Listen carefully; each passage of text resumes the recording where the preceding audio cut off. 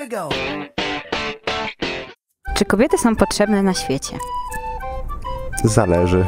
A od czego? Od wielu czynników. No ale od jakich? Nie powiem. Na co zwracasz uwagę u kobiet? Żeby była normalna, to na pewno. A jest, no mam trochę wadę wzroku, no to nie musi być ładna.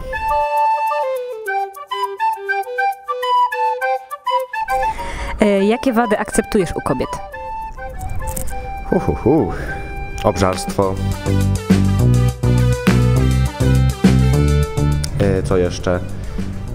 E, no nie, nie wiem, musiałbym tak się pomyśleć, a tak szybko, no to szybko to się myszy, no. Kiedy obchodzimy Dzień Kobiet? To jest chyba 8 marca. Czy kobiety są potrzebne na świecie? No jak najbardziej, kto by mi sprzątał? No wiadomo, potrzebne są. Oczywiście, przecież muszą sprzątać, gotować. Czy kobiety są potrzebne na świecie? Tak. Dlaczego? Yy, no nie wiem, na przykład wychowują dzieci, sprzątają. Yy, no i ogólnie są potrzebne do, do wielu rzeczy. Na co zwracasz uwagę u kobiety? Na charakter.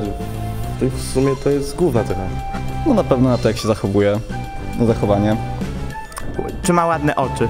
Yy, No osobowość, charakter. No i chyba w sumie tyle. A co cenisz u kobiet? Yy, Szczerość. Najbardziej szczerość. Tylko? No nie tylko, ale chyba ta cecha jest najważniejsza, tak mi się wydaje. Jakie wady akceptujesz u kobiety? Yy, Ciężko powiedzieć, no chyba wszystkie. Oj. Nawet nie jestem w stanie zaakceptować spiny, tylko żeby oj, nie było jazdy codziennie. Yy, mogłaby być yy, niższa ode mnie, wyższa, to jest mi bez różnicy. Jaka powinna być idealna kobieta? Ładna, inteligentna, nie powinna być ludwikowa. Yy, dość wysoka, yy, inteligentna i żeby miała walory. Chciałbym życzyć wszystkim dziewczynom wszystkiego najlepszego z okazji ich święta. Wszystkiego najlepszego z, swojego, z okazji swojego święta. Pozdrawiam wszystkie prawdziwe damy. Cześć.